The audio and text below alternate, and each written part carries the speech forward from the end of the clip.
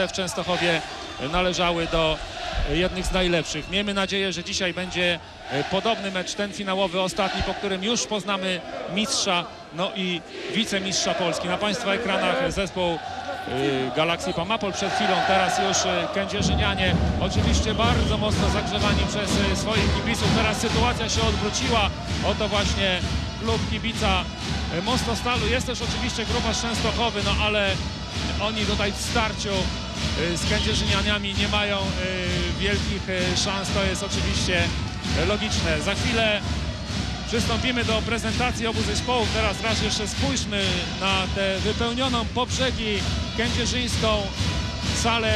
Kibice w tej chwili stają z miejsc, bo to obie drużyny wychodzą na boisko by stworzyć, miejmy nadzieję, wielki siatkarski spektakl. Finał Polskiej Ligi Siatkówki 2002-2003. Oczywiście lecą serpentyny, podobnie jak w Częstochowie. Za chwilę e, to wszystko e, zostanie pozbierane.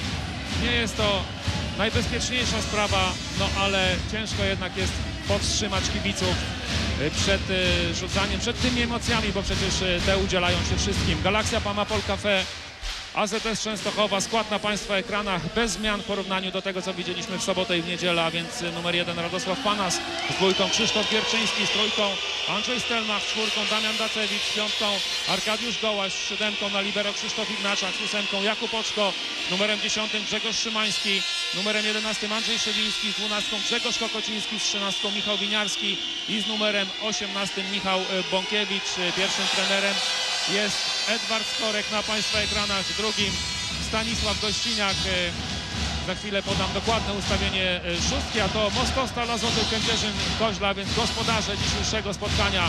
Dwójką Roland Dębończyk, z piątką Piotr Lipiński, szóstką Marek Kardosz, siódemką Duszan Kubica na libero, z ósemką Rafał Musielak, z dziewiątką Wojciech Serafin, z dziesiątką Robert Szczerbaniuk, z 12 Jarosław Stancelewski, z numerem 13 Sebastian Świderski, z 14 Paweł Papkę, z 16 Aleksander Januszkiewicz i z numerem 17 Bartłomiej Soroka.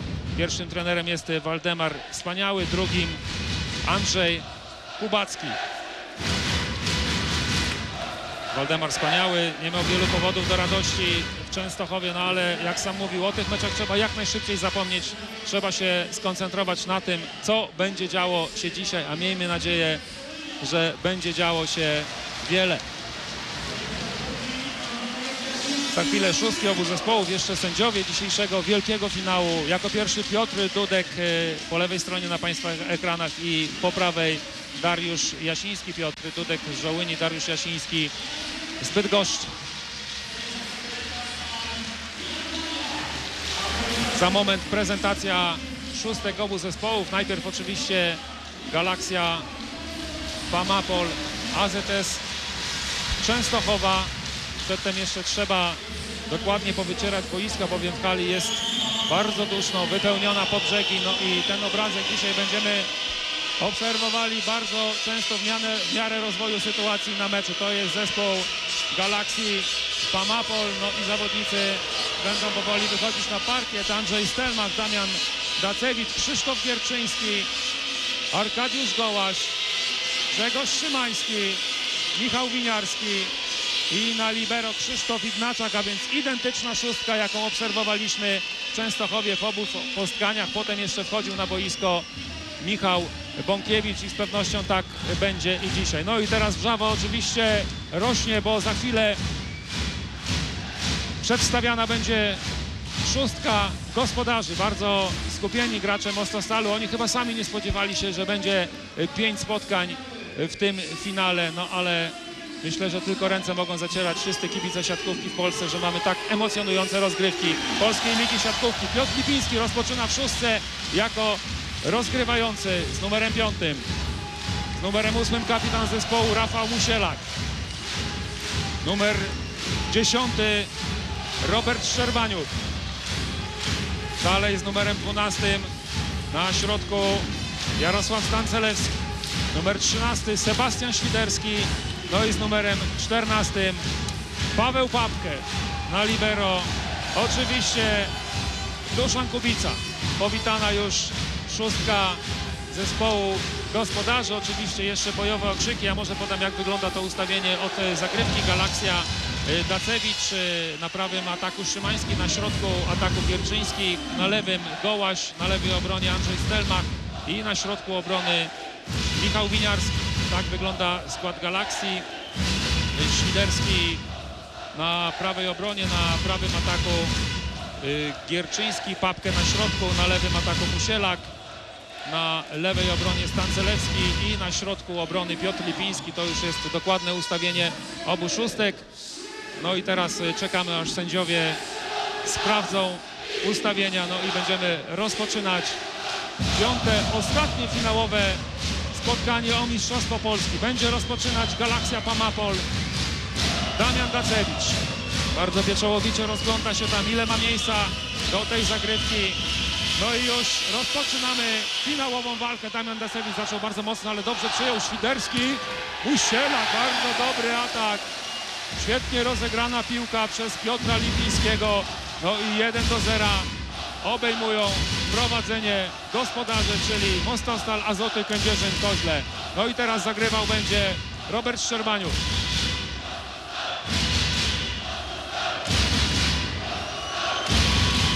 Rzucił piłkę daleko sobie, wyrzucił, mocna zagrywka, ma kłopoty Krzysztof Gierczyński. Z prawej strony Szymański po przekątnej broni Lipiński. Jeszcze będzie jedna szansa na kontratak. Znowu Szymański. Bardzo mocno Grzegorz Szymański dobrze rozpoczyna to spotkanie. Poprawił tam z prawego ataku. Za drugim razem zdobywa punkt dla swojego zespołu 1 do 1. On tu oczywiście będzie bardzo deprymowany przez e, jedną dość niefrasobliwą wypowiedź w prasie, ale myślę, że poradzi sobie z tą presją. Przedarł się Jarosław Stancelewski. Była to bardzo trudna piłka po niezbyt dokładnym przyjęciu. Walczył jednak tam bardzo mocno Piotr Lipiński, teraz to właśnie widzimy. No i wcisnął tam między dwóch zawodników Stancelewski piłkę zdobywając punkt dla Mostostalu. 2 do 1. Paweł Papka. To był jedyny zawodnik, który w tych dwóch meczach w Częstochowie grał w miarę równo. Teraz nie najmocniejsza ta zagrywka, ale ma problemy Winiarski. Chyba się tam pośliznął Gierczyński. Niezwykle trudna piłka. Do ataku wrzucony w siatkę. Próbował przebić lewą ręką na drugą stronę. Czekał jednak dobrze ustawiony blok Kędzierzynian, a więc 3 do 1 dla Mostostalu. Paweł Pap. Teraz już mocniejsza zagrywka, znowu Winiarski niedokładnie przyjmuje Gierczyński, lewa strona przedziera się, Paweł Papkę bronił jeszcze piłkę, ale Gierczyński już za drugim razem skuteczniejszy, miał o wiele lepszą piłkę do ataku, no i spisał się bardzo dobrze. Teraz Gierczyński będzie zagrywał, a to przez chwilę jeszcze poprzednia akcja.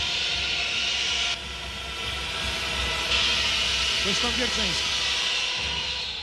Mocno niewiele brakowało, ale jednak out. 4 do 2. Rafał Musiela.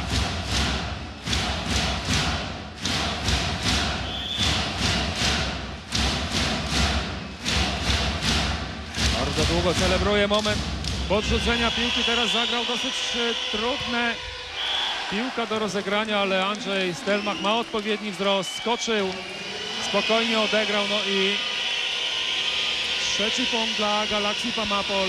Arkadiusz Gołasz, o którym tyle dobrego mówiliśmy podczas ostatnich dwóch transmisji. Zobaczymy jak zagra dzisiaj. Mocna zagrywka po prostej i to jest as serwisowy. Arkadiusza Gołosia, więc świetnie rozpoczyna spotkanie środkowy Galaksii Pamapol. 4 do 4. Zagrał po prostej. Ciekaw jestem, czy znowu tutaj będzie zagrywał w tym samym kierunku, czy też zmienił zagrywkę, tak jest. Tam poszukał Duszana Kubicy. Krótka piłka, Jarosław Stancelewski, kapitalny atak. Wszystko to działo się w odległości mniej więcej dwóch metrów od siatki. Wrzucił piłkę Piotr Lipiński, rozgrywający Mostostalu. A więc na razie walka punkt za punkt. Jarosław Stancelewski. Mocna zagrywka, mają kłopoty z przyjęciem. Częstochowianie Szymański daleko atakował. Podbił Musielak z prawej strony Paweł Papkę. Jest punkt dla Mostostalu. Trudna to była piłka do Pawła Papkego. Popatrzył jeszcze w ostatniej chwili, aby nie przekroczyć tej linii trzeciego metra, nie popełnić błędu. Był przecież w drugiej linii. No i cisnął po raz kolejny tam piłkę, tym razem Szymańskiemu. Za wcześnie Częstochowianie skoczyli do bloku. Rośnie powoli prowadzenie, po taśmie ta piłka, Ignaczak jednak podbił do góry, Winiarski po przekątnej. Pierwszy atak Winiarskiego tam męczył się na początku z przyjęciem zagrywki. Jest piąty punkt dla Galaxii Pamapol. 5 do 6 zagrywał będzie Andrzej Stelman.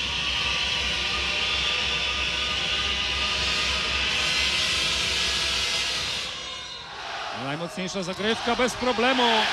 Przejął mu z drugiej piłki atakuje Piotr Lipiński po raz pierwszy dzisiaj w ten sposób.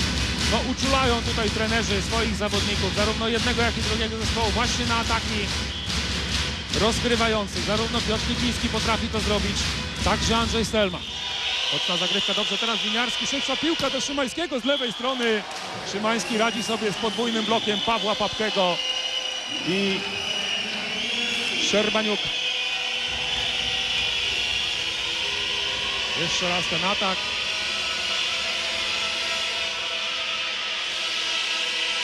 Sześć do siedmiu. Winiarski, bardzo mocna zagrywka, piłka wraca na stronę Częstochowian, dograł palcami Dacewicz, szybsza piłka, Gierczyński atakuje daleko w aut.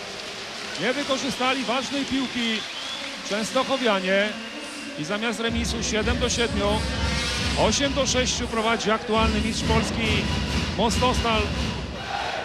A to oznacza, że mamy pierwszą przerwę techniczną. Pamiętajcie, nie wyrywaj, czekaj, czekaj, spokojnie.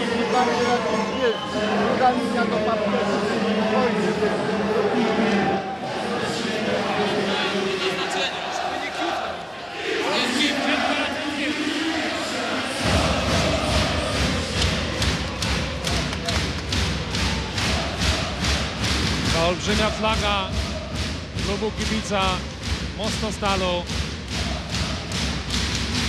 całej swojej rozciągłości. Teraz Państwo widzą to na swoich ekranach. Wspaniała atmosfera tutaj na trybunach. 8 do 6 prowadzi Mostostal. Waldemar wspaniały, widać, że był zadowolony z początku tego seta. Bił brawo tutaj swoim zawodnikom. Mamy, oglądamy kilka akcji z tej pierwszej części pierwszego setu. Oba zespoły już po przerwie technicznej wracają na boisko. 8 do 6 zagrywał będzie Sebastian Świderski.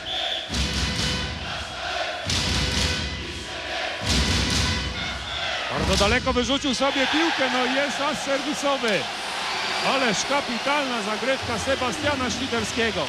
Tego z pewnością było potrzeba temu zawodnikowi. On grał nie najlepiej w tych dwóch ostatnich spotkaniach, a teraz włożył całą swoją siłę w zagrywkę, no i zdobył ważny punkt dla swojego zespołu. 9 do 6.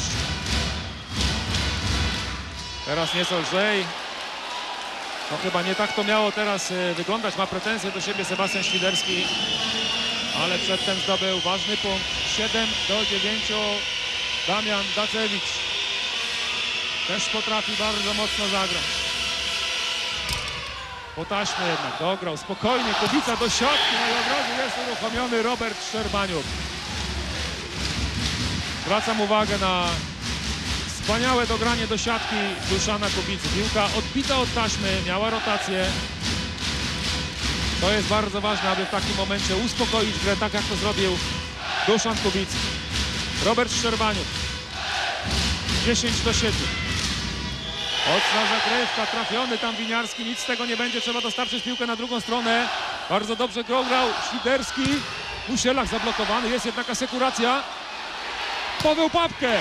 Świetny atak Pawła Papkego nad blokiem. Trzech zawodników Galaxii Pamapol. Kapitalny atak Pawła Papkego. Zwróćmy jeszcze raz uwagę. Wyskoczył wysoko, wyprostował rękę pokazał najwyższą klasę w tym właśnie zagraniu. O przerwę prosi Edward Skorek, bowiem prowadzenie wzrosło do czterech punktów. Mowa o zespole Mostostalu.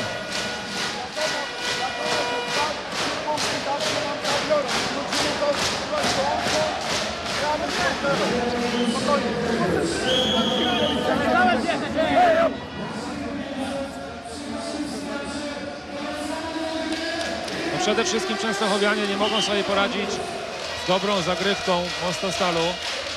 Nie ma dokładnego przyjęcia, to nie ma oczywiście mowy o żadnej kombinacji na środku siatki.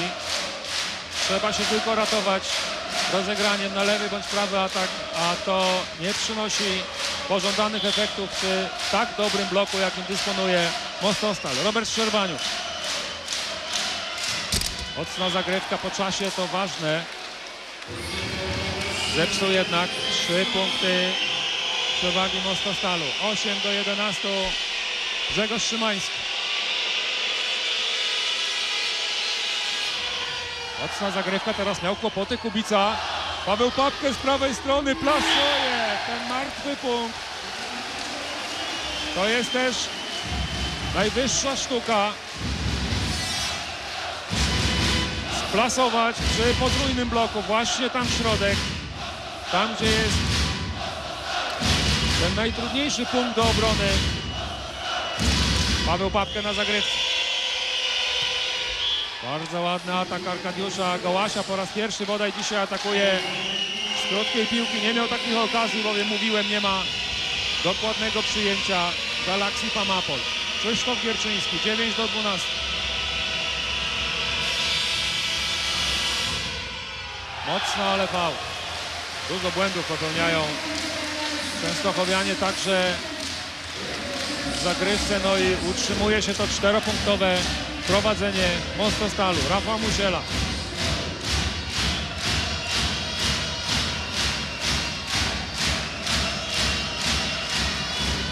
Teraz Musielak popełnia duży błąd. Chciał mocno zagrać, uciekła mu wyraźnie piłka z nadgarstka. Dziesiąty punkt dla Galaxii Pamapol. Arkadiusz Gołaś popisał się już dzisiaj asem serwisowym. Ruch po prostej na Musielaka. Musielak jednak przejmuje bardzo dokładnie. Potężny atak Tancelewskiego, ale sędziowie orzekają, że był. Bardzo mocno, dynamicznie poszedł Stancelewski. Ale myślę, że bardzo słuszna decyzja Piotra Dudka. No to było ponad metr fał. Teraz myli się Arkadiusz Gołaś, a zatem 14 do 11 dla Mostostalu. No i zagrywał będzie Jarosław Stancelewski. Nie jest to jakaś duża przewaga, ale jednak utrzymuje się już od dobrych kilku minut. No i Częstochowianie nie potrafią tej przewagi zniwelować. Jarosław Stancelewski. Mocna zagrywka, znów niedokładne przyjęcie, mocny atak Szymańskiego, ale też kapitalnie broni Stancelewski. No i drugiej piłki Piotr Lipiński. Kapitalna akcja rozgrywającego Mostostalu. Cieszą się teraz zawodnicy. Piotr Lipiński, ten zawodnik na Państwa ekranach. Świetnie z drugiej piłki, ale też podkreślam kapitalną obronę Jarosława Stancelewskiego. No najładniejsza akcja chyba dzisiejszym spotkaniu, przynajmniej na razie. 15 do 11 szaleje oczywiście publiczność kędzierzyńska. Mamy drugą przerwę, o którą poprosił Edward Skorek.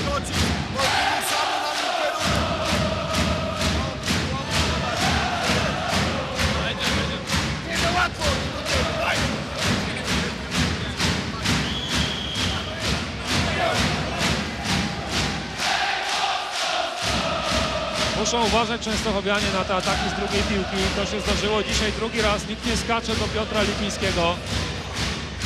Ale trzeba też przyznać, że Piotr Lipiński atakuje bardzo dobrze. Zupełnie nie są sygnalizowane te ataki, a więc mogli tego nie zauważyć blokujący. Mamy następną akcję. Winiarski teraz po rękach atakuje wysoko. Jest 12 punkt dla Galaxii Pamapol. 12 do 15. Andrzej Stelma.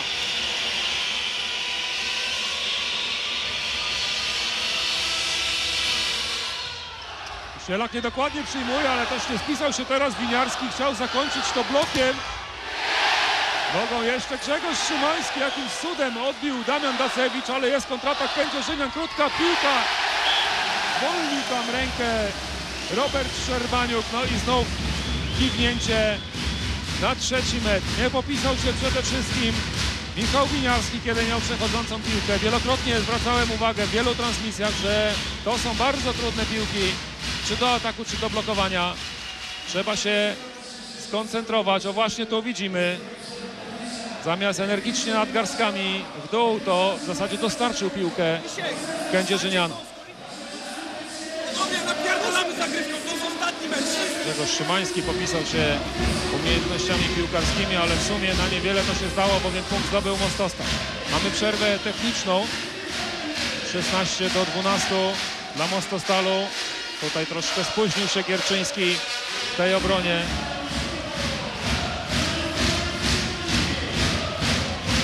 A to statystyki po raz pierwszy dzisiaj. Przewaga w ataku Mostostalu. Także w bloku mamy remis w zagrywkach, no i remis y, w punktach zdobytych po błędach y, przeciwnika, więc wyraźna przewaga na razie w ataku Mostostalu. Przerwa techniczna zakończona. Galaksja Pamapol już na boisku. Teraz y, wchodzą na plac gry Kędzierzynianie. No i ciąg dalszy pierwszej partii. Piotr Lipiński.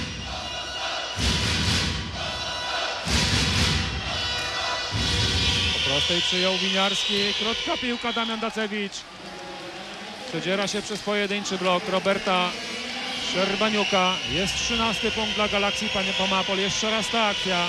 Bardzo ładnie rozegrana przez Andrzeja Stelmacha. No i Michał Winiarski.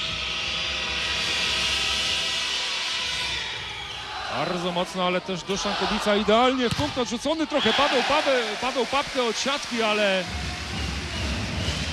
kontrolował w zasadzie od początku do końca lot tej piłki. Nastrzelił na blok. Jeszcze raz będziemy to teraz widzieć. Piłka wychodzi w aut. 17 do 13. Sebastian Świderski. Znów daleko wyrzucił piłkę mocno. Nagrywa i to jest as serwisowy. Drugi raz dzisiaj w wykonaniu Sebastiana Świderskiego. Bardzo pobudzeni są gracze Mosto Stalu. To zupełnie inna drużyna niż ta, którą widzieliśmy w Częstochowie. Sebastian Świderski. Znów mocno, ale tym razem potaśnie. Krótka piłka Damian Dacewicz. Paweł Papkę palcami. Na drugą linię Sebastian Świderski zablokowany. Duszan Kubica kapitalnie jednak broni. Nie będzie kontrataku. Teraz mają Częstochowianie atak. Wyrzuca Szymański. No, nie było bloku. 19 do 13. No i to jest najwyższe prowadzenie Mostostalu w dzisiejszym spotkaniu. Sebastian Świderski będzie ponownie zagrywał.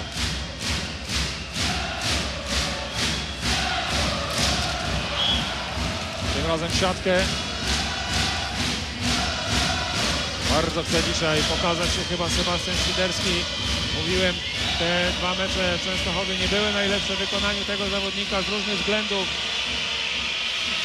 Ale dzisiaj od początku cały zespół Kędzierzynian gra dobrze. Teraz miał kłopoty trochę z przyjęciem Kubica. Poprzekotny i atakuje kapitan zespołu Mostostalu Rafał Musielak. No i to jest już 20 punkt dla aktualnych mistrzów Polski. Będzie zagrywał Robert Szczerbaniuk.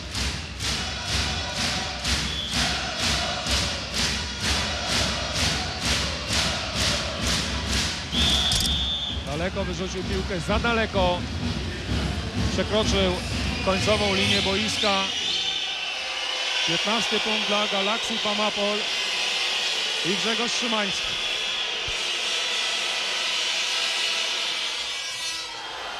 Lub niedokładnie Duszan Kubica, Paweł Papkę z drugiej linii zablokowany, wysekurował go jedną ręką Rafał Musielak, teraz do niego piłka.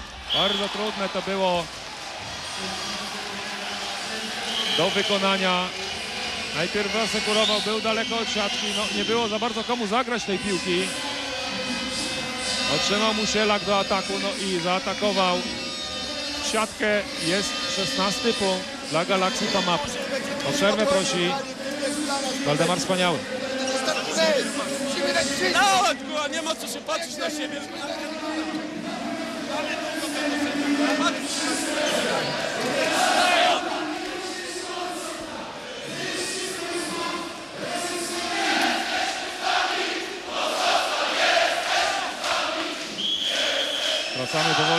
Duszan Kubica na Państwa ekranach w głębi Rafał Musielak. 20 do 16 prowadzi Mostostal, ale zagrywał będzie Grzegorz Szymański, który jest tu niesamowicie deprymowany przez kędzierzyńską publiczność, ale popisuje się świetną zagrywką między dwóch zawodników. Rafała Musielaka i Sebastiana Świderskiego. No i za chwilę może być zmiana w zespole Mostostalu. Już chwycił za tabliczkę z numerem zawodnika rezerwowego. Waldemar Wspaniały znowu nie ma przyjęcia i znowu nie popisują się w bloku tej przechodzącej piłki Częstochowianie. No i teraz znowu bardzo nerwowo, ale szarpana gra po stronie Galaxii Pamapol. Wszystko to jednak szczęśliwie skończyło się dla Częstochowian, którzy zdobywają 18 punkt. O przerwę prosi Waldemar Wspaniały. Jeszcze raz ta sytuacja. Za ostre to dogranie tutaj do Andrzeja Stelmacha. Ten jednak zachował się bardzo dobrze. A w zasadzie tylko to mógł robić, śpiwać agresywnie lewą ręką. I Waldemar Wspaniały prosi o drugą przerwę już dla swojego zespołu. Odrobili część strat. Częstochowianie 18 do 20 i w dalszym ciągu będą mieli zagrywki. Będzie teraz zmiana za chwilę w zespole Mostostalu. Marek Kardosz, miejsce Piotra Lipińskiego. Do tej zmiany przywykliśmy. Często tak się dzieje, że zmieniają się rozgrywający w zespole Mostostalu. A tu Grzegorz Szymański, któremu jak widać zupełnie nie przeszkadzają te gwizdy i krzyki miejscowej publiczności. Paweł Papkę był pod piłką, ale znów spisał się znakomicie. Oj, trafiony tam Krzysztof Ignaczak. Po tym bardzo mocnym ataku Pawła Papkę.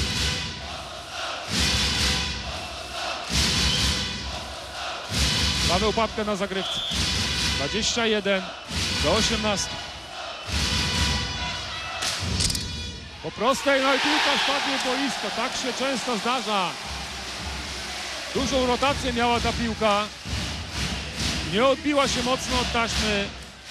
Spadła niemalże na środkową linię boiska. Teraz to właśnie widzimy. No, niemożliwa w zasadzie piłka do obrony.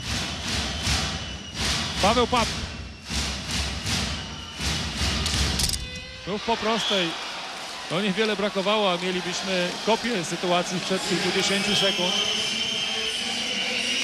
Teraz jednak piłka zatrzymała się na taśmie. No i po raz pierwszy dzisiaj na boisku Michał Bąkie- Bąkiewicz, ten zawodnik, który tak świetnie zagrał w obu meczach w Częstochowie, zmienia Krzysztofa Gierczyńskiego. On ma teraz poderwać zespół do walki. Taka jest jego rola. Już zaczyna biegać po boisku. No ale najlepiej z pewnością dla Częstochowian byłoby, gdyby teraz zagrał asa serwisowego. Oczywiście to jest łatwo powiedzieć, trudniej wykonać. Zobaczymy. Bąkiewicz. Nie najmocniejsza ta zagrywka. Szybka piłka do Pawła Papkego. Potężny atak. Broni Szymański. Nie dał rady Michał Winiarski, który tam ambitnie jeszcze starał się bronić poza ławką rezerwowych zawodników.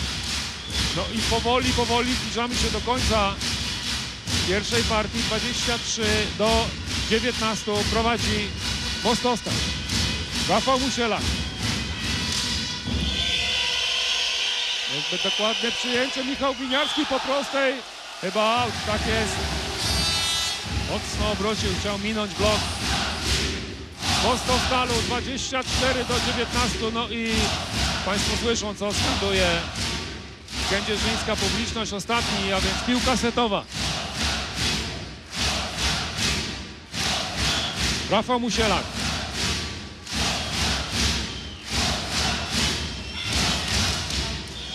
Mocno zagrał, dobrze przyjął jednak Ignaczak jeszcze z krótkiej piłki Arkadiusz Gołaś. Trzy ataki z krótkiej tego zawodnika w dzisiejszym spotkaniu, trzy skuteczne. Mówiłem, nie miał zbyt wielu okazji, bowiem to przyjęcie nie było najlepsze w zespole Galaxy tej pierwszej partii. 20 do 24. Arkadiusz Gołaś. Na Duszana Kubica. Krótka piłka. Stan Celewski kończy pierwszą partię spotkania. 25 do 20. Wygrywa Mostostal Azoty Kędzierzyn w piątym finałowym meczu o Mistrzostwo Polski. Ale to jest dopiero pierwsza partia tego spotkania. Jestem przekonany, że jeszcze dzisiaj czekają nas wielkie emocje. Wyrównany pojedynek na pewno mniej więcej do połowy tego seta. Potem zaznaczyła się kilkupunktowa przewaga Częstochowian. Oczywiście Mostostalu.